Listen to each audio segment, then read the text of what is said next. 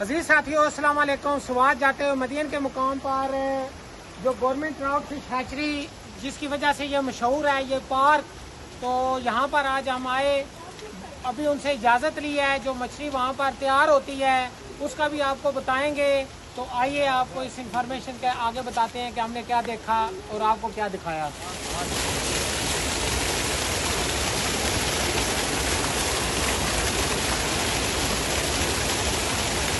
بہت ایکسائٹیڈ ہیں بچوں کی طرح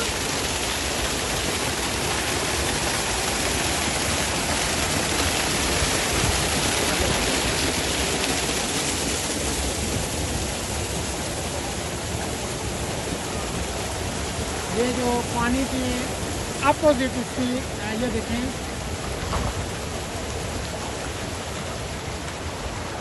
اس طرح سے یہ دیکھیں یہ چھوٹے دانے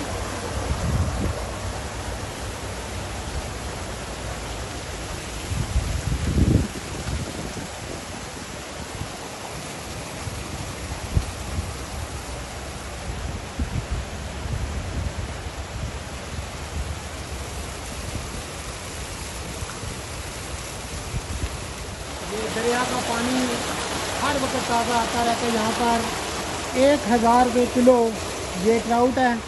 بھائی صاحب نے انفارمیشن دی ہے جو یہاں کے انچارج ہیں۔ قدرت کا نظام یہاں پر کہ وہ دریا میں سے پانی سیدھا آ رہا ہے ادھر، جیسے کہ آپ کو اوپر دکھایا ہے۔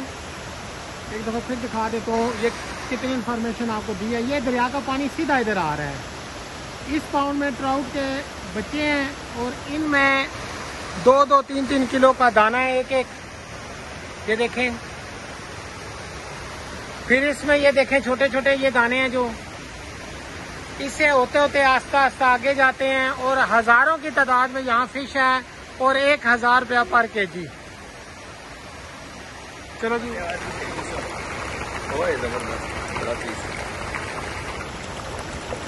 دیکھیں یہ دیکھیں۔ راؤٹ یہ دیکھیں یہ یہاں کی جو مچھلی ہے ٹراؤٹ یہ آپ کو دکھائی جا رہی ہے یہ بڑی مشکل سے جو ہے میں یہ اس میں آیا ہوں یہ دیکھیں یہ نظارہ کہ تازہ ندی کا پانی یہاں پر گرایا جاتا ہے۔ یہ دیکھیں۔